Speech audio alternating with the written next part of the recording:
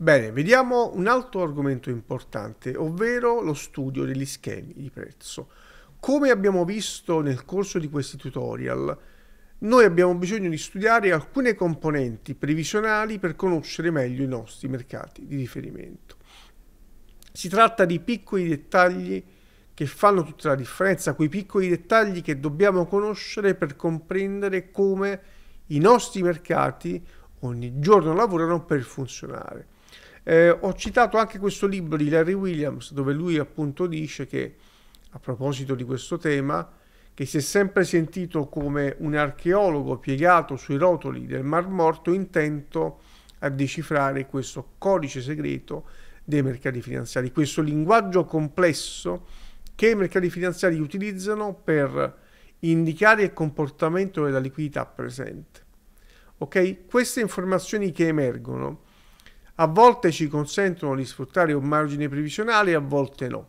Il punto è che quando certe cose si allineano è lì che possiamo fare ottime cose, grandi cose. Quando invece le informazioni sono diciamo passive, sono piatte perché indicano che la liquidità non si è sviluppata, semplicemente ci limitiamo ad aspettare, ci limitiamo a leggere ancora quotidianamente i dati che emergono al mercato perché ogni barra giornaliera che emerge porta con sé una serie di dati che noi dobbiamo analizzare e studiare, ogni giorno abbiamo dati nuovi e ogni giorno studiamo questi dati per arrivare al margine previsionale che ci serve per tradurre tutta questa attività in profitto. Ok? Bene, come ho spiegato anche nel tutorial precedente, l'attività si svolge diciamo, in due fasi. Abbiamo una parte che riguarda il lavoro previsionale e stiamo lavorando con questi tutorial a quei dettagli previsionali che dobbiamo conoscere. Ehm, e poi dovete sapere che l'attività si completa proprio la gestione, perché da un punto di vista previsionale non siamo in grado e non saremo mai in grado di anticipare con successo tutte le volte i mercati. Quindi c'è un limite perché non siamo in grado di prevedere il futuro. Come vedremo nei tutorial che sto preparando e li troverete tutti quanti su YouTube, Abbiamo a disposizione, tutti i trader hanno a disposizione le tecniche gestionali che servono a separare le opportunità infruttuose da quelle che hanno un potenziale e così che poi si mette in opera un'intera gestione che porta a un profitto. Ok? Non pensate mai di vincere sui mercati utilizzando solo le componenti previsionali. È una parte del lavoro molto importante, ma non è tutto. Va bene? Ok. Vediamo come funzionano gli schemi di prezzo. Abbiamo visto il comportamento delle singole barre di trend, delle barre pivot, come i mercati si sviluppano prima di formare una tendenza oltre una congestione e come funziona la teoria di Do. Aggiungiamo a tutto questo lo studio degli schemi di prezzo e abbiamo visto anche nel video precedente ehm, il ciclo delle variazioni di range. Quindi un'altra componente oltre a tutto questo che ci serve a comprendere sempre di più, leggendo i grafici, che cosa la liquidità sta facendo. Va bene? E vedremo altri argomenti, sono tantissime cose che noi possiamo studiare, tanti dettagli che sono di grande importanza. Allora, io ho sempre diviso lo studio degli schemi di prezzo in due categorie. Gli schemi ampi, come questi qui, e gli schemi veloci, come questi qui ed è possibile studiare una, diciamo, un'ottima spiegazione per quello che riguarda gli schemi di prezzo nel libro di Geross Day Trading, dove lui spiega la legge dei grafici. Spiega questa stessa cosa con parole diverse.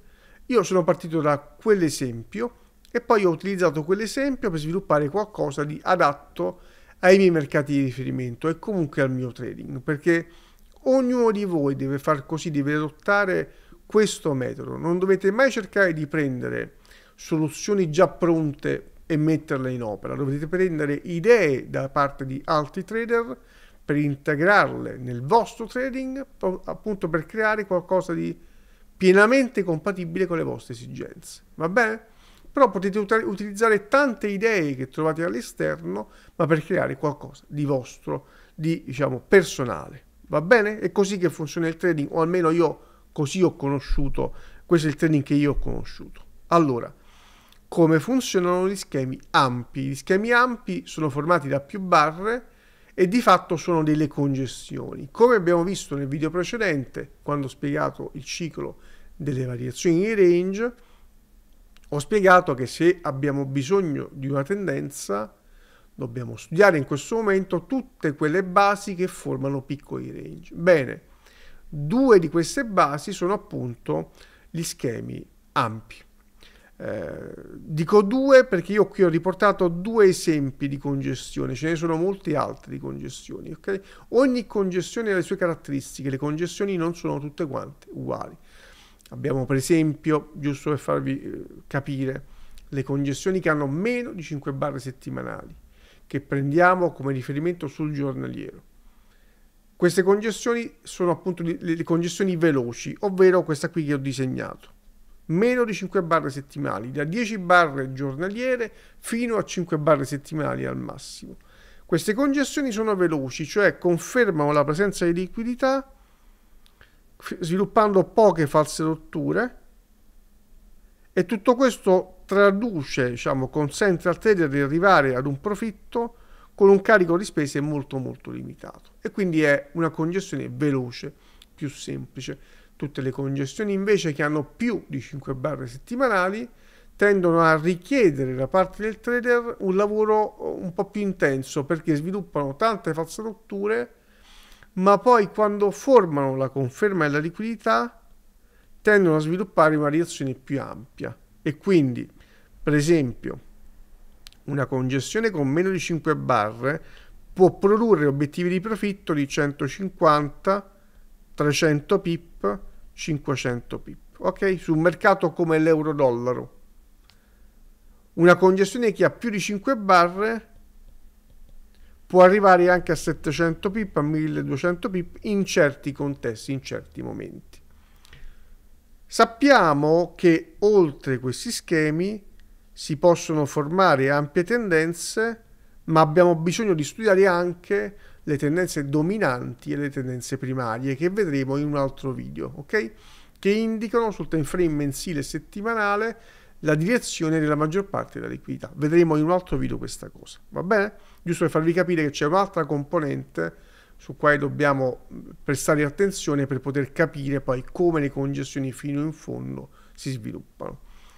E quindi adesso abbiamo visto qualche dettaglio che riguarda le congestioni. Le congestioni si possono formare anche in una maniera diversa. Invece che in questo modo, si possono formare in questo modo. Ok? Quindi utilizziamo in genere i livelli di azione e reazione di Andrews per poter lavorare su questi schemi e in tutti e due i casi però con tutte e due le tipologie di congestioni, e questo si fa con tutti quanti gli schemi ampi, si lavora attendendo la conferma della liquidità, quindi barra di trend con prese di profitto ridotte. Se non avete visto il, i tutorial precedenti dove ho spiegato la teoria di Do, magari può essere utile perché la teoria di Do appunto è la base che ci, ci consente di capire oltre una fase di trend abbiamo bisogno di prese di profitto ridotte per anticipare lo sviluppo di una tendenza. Va bene? Detto questo, andiamo a vedere gli schemi veloci. Gli schemi veloci sono appunto più veloci, danno accesso a una tendenza entro poche barre e, danno, e sviluppano però un, una tendenza più breve. Quindi possiamo avere oltre questi schemi obiettivi di 150, 300 pip. Va bene? Talvolta anche di più, ma tutto questo poi dipende dal contesto che c'è attorno. Questi schemi si utilizzano e sono qualcosa di simile ai Rossuk. No? Per esempio, voi nel libro di Geross potete studiare i Rossuk, questo qui è un Rossuk compatibile, anche questo lo è. Anche questo lo è. Anzi no, questo no, chiedo scusa perché questa barra, per come l'ho disegnata, non è chiusa. Dovrebbe chiudere e ci dovrebbe essere qui una barra a fianco. Va bene? Invece questo è uno schema veloce che si può gestire anche in questo modo. Va bene? Senza attendere la chiusura di questa barra. Questo invece è un Rossuk compatibile. Il Rossuk, la regola del Rossuk è che un mercato che sviluppa, praticamente non sviluppa più un nuovo massimo, configura un Rossuk, mentre uno schema veloce può essere qualcosa di questo tipo anche ed è compatibile e fa parte di quelle integrazioni che io ho sviluppato per il mio trading. Quindi ragionate su queste, su queste evidenze e osservate questi schemi su time frame giornaliero e su time frame H1 e troverete, faremo un altro video su questo, tanti punti in comune, eh, tante basi che danno accesso a delle tendenze. C'è una cosa che Geros spiega nel suo libro Day Trading e spiega che se noi abbiamo bisogno di una tendenza, qual è la cosa migliore da fare? Andare a studiare quelle, tutti quei casi in cui si sono sviluppate delle tendenze per andare a vedere alla base che cosa ha prodotto quelle tendenze. Io ho fatto questo identico lavoro e sono emersi questi schemi. Quindi se lo fate anche voi troverete delle evidenze interessanti per poter comprendere come, qual è la porta di accesso alle tendenze. No, la base che a noi serve per realizzare un profitto. Va bene? Ragionateci su. Ci vediamo nel prossimo video. Buon lavoro.